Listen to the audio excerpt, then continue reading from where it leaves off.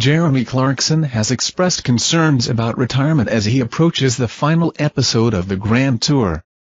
At 64, Clarkson admits he fears the prospect of moving to a retirement home and feels that travel, a staple of his career, has become a young man's game reflecting on filming the show's final season in Zimbabwe. Clarkson noted he felt surprisingly unemotional, partly because he can easily stay in touch with his co-hosts, James May and Richard Hammond. He also mentioned feeling worn out by the extensive travel required by the show.